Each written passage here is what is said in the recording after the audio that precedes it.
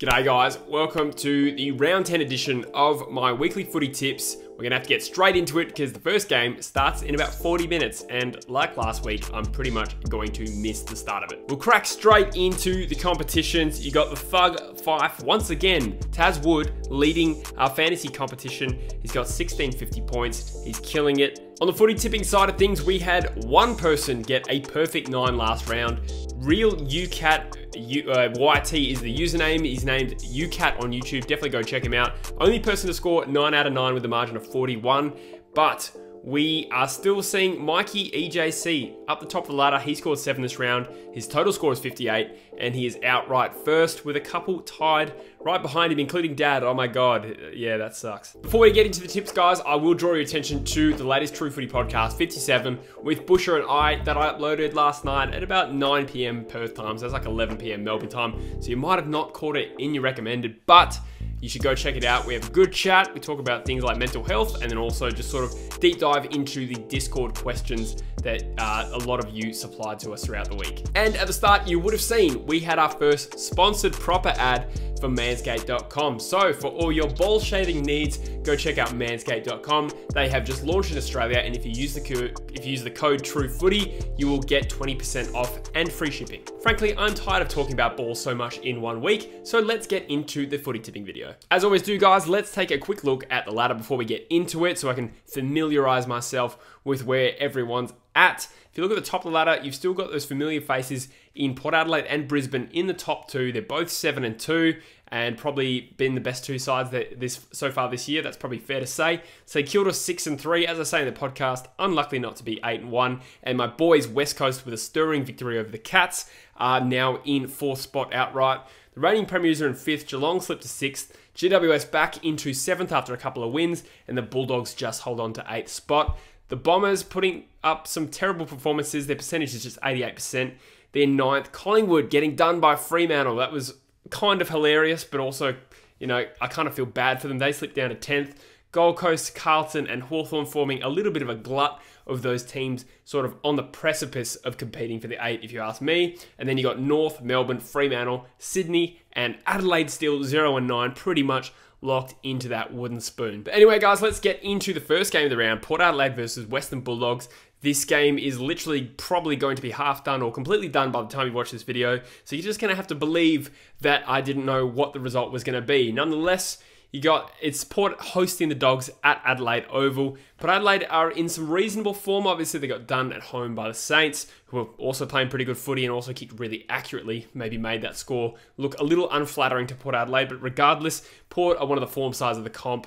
146% really speaks to that. And last week they put a Melbourne side that was supposed to be bouncing back to the absolute sword. The Bulldogs, on the other hand, came up against Richmond, the reigning premiers, who again probably haven't recaptured their finest footy this year, but they really showed the golf in quality between those sides. They got a good, tough win against Gold Coast the week before, but couldn't replicate it at the same ground, I think it was last week against Richmond. So, not a great performance for them. They'll want to bounce back, but I don't think it will be this week. Port Adelaide are too good an opponent. I'm going to tip them to win this by about three goals. Next up, Richmond is playing Brisbane on a Tuesday night at uh, Metricon Stadium, actually. So, Brisbane, of course, playing away games now at Gold Coast. This, as it stands for me, is potentially a grand final preview. These are probably the two sides I'm most wary of as an Eagles fan who obviously wants his team to be competing deep in September. And Metricon Stadium, obviously, there's no home ground advantage, it's a neutral ground. Both of these sides sort of suited to dewy conditions. I don't really know what the conditions will be like. And Richmond are really starting to recapture a little bit of glimpses of that form that saw them win the premiership. They've kind of timed their run really well in previous years. They might be doing the same this year. That being said, Brisbane are looking pretty ominous this season. Last week on the stream, we saw them absolutely tear apart Essendon, and the caveat to that is obviously Essendon do tend to put up performances that are absolutely shameful. That was probably an example of that, but nonetheless, Brisbane are a really strong side. I'm tipping an absolute ripper here. I really rate both of these sides. I'm going to say the Lions actually get it done and win by seven points.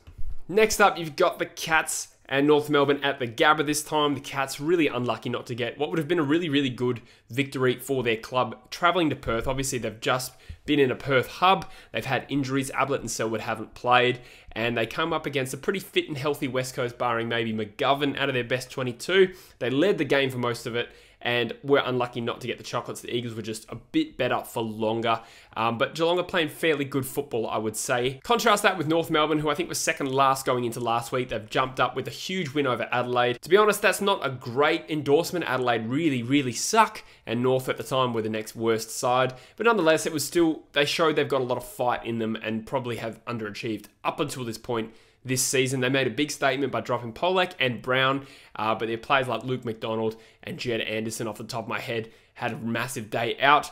There is a little bit of an opportunity here for North Melbourne, but I do think Geelong are just a far better side. I'm going to say 25 26 points to the Cats. Next up is Adelaide versus Melbourne, and given that Adelaide have played Sydney, Fremantle, and North already this season, they're running out of opportunities to actually grab four points at any point. Now, I'm sure they will at some point. They'll probably beat a really good team like Richmond later in the season or something stupid like that. But as it stands, this is the lowest ranked team they're going to play again this year. Things are looking really rough for them, but sometimes, like I've said in the past, they might lift and sees an opportunity to grab four points because, you know, there's not going to be too many left. And Melbourne, on the other hand, just continue to disappoint me. Obviously, they butchered Hawthorn, but then turned up with a really, really poor performance against the power. Really disappointing. There's a few bright lights for them this year, but I think they're underachieving with the list they have, and I really do think the pressure should be mounting on Simon Badloss, as Backyard Charizard would say. There is a temptation to go with the Crows here. There was a temptation to go with them last week against North, and I'm really glad I didn't. They'll be back home. Melbourne, not the most mentally strong side. Definitely could see them messing this up. Nonetheless, I feel, feel like I'm going to go with the safe option and tip the D's because, frankly, they are a better side. It's just whether or not they're going to show up and want it more than Adelaide. Next up, we've got the Pies and Sydney, and you'd say on paper this is a straightforward one at the Gabba. But again, Collingwood had a fairly straightforward opportunity to get four points in Perth last week, and well, last night actually, and the Dockers were too good for them. And Collingwood have this real problem with poor finishes to games. And I, when I say finishes, I mean pretty much anything after quarter time. Against the Eagles, they kicked four goals out of five and then lost the game by 65 points or something ridiculous. So, what's that, minus 85 for the rest of the game? Against Fremantle, they held Fremantle scoreless in the first term, kicked one goal or maybe two goals themselves first, and after that, obviously lost the game, not as convincingly, but we're seeing a massive drop off. And I don't know if it's fitness or mental. I'm inclined to think maybe a combination of both. They've got a bit of adversity at the moment with players just going out and all this COVID stuff, which I really try and steer away from. But they're in a bit of turmoil at the moment. Sydney, on the other hand, also not travelling too flash, but they've obviously got the excuse of a lot of youth on the list and they're really developing and rebuilding. And to be honest, I did expect them to get a little bit closer to St Kilda than they did, but maybe I wasn't respecting St Kilda enough in that respect. They've got their own injury issues. We've talked about Kennedy missing the year. Heeney's out for a long period or the other way around or something like that. It's hard to really give Sydney too much of a chance here, even though they're not the worst side in the comp by a long stretch. Surely, surely Collingwood sort their shit out and get a win. Uh, I'm going to say 15 points. It'll be a close one. Next up is Gold Coast versus St Kilda at Metricon, so a true home game for the Suns. Maybe four weeks ago, I would have said this is a fairly evenly matched clash. Gold Coast were looking like finals contenders, and St Kilda was sort of hovering around that range as well. But now St Kilda really distancing themselves as a side that could be pushing top six or even top four, dare I say it. Gold Coast last week obviously didn't quite get the job done against GWS, but GWS are a star studded side, even if they haven't played to their full potential. They'd obviously beat Richmond the previous week, so they're starting to regain that, and they definitely haven't shamed themselves so far this year, Gold Coast. You do kind of wonder if this thing is starting to fall out of the tail for the Gold Coast Suns. Does that expression make sense? I'm going to roll with it. Starting to lose a little bit of momentum. We saw that happen last year. They got a young team. It's starting to tire maybe. I look at their biggest contributors last week and all of the top like six to eight possession getters, I think it's seven actually, are all GWS players. And in fact, no, it's the biggest possession getter for the Suns was Jack Lukosius, Will Powell, and then Brandon Ellis, a fair way down the list. So what I'm starting to think is maybe they're running out of legs to contrast that with St Kilda, who are actually one of the fittest lists in the squad in terms of like injury availability. They've actually had a really good run with in, in terms of injury luck, which is probably fair enough because last year I think they had probably one of the worst. If I'm not mistaken, St Kilda have had a couple of rough trips to play Gold Coast in the last couple of years. I think they might not have lost either game, but they pretty much won in, in the dying stages, if I'm not mistaken. I could be talking shit there. Nonetheless, with the form they're in, probably have to back St Kilda. Definitely potential for an upset here, but with the form they're in, and they were really impressive with the way they were clinical and put away the Swans. I didn't expect them to win that much. Maybe they're starting to take steps, and well, actually, I'm going to put it at four goals. I think this is the final game of the round. I could be wrong. Essendon play GWS at Metricon. I touched on Essendon before.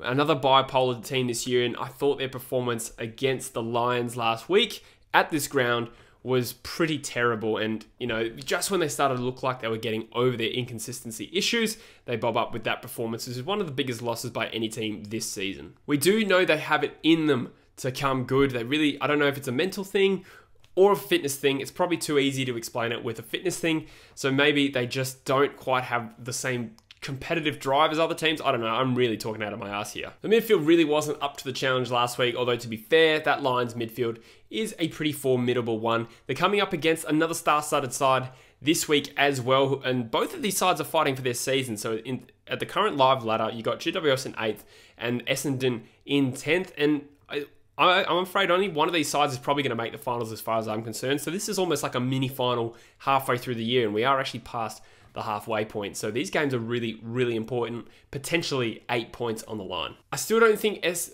I still don't. I still don't think GWS are anywhere near playing at top flight. They've got a lot of potential. I mean, obviously you can say that about the Bombers too, but I think the Giants are just starting to warm up, and I think they might look at the ladder and think, we really can't afford to lose too many more games here, or we're not going to get a chance to take revenge for last year's grand final loss. I'm going to say GWS, get it together. Essendon probably still not going to quite jump back into form in this particular week.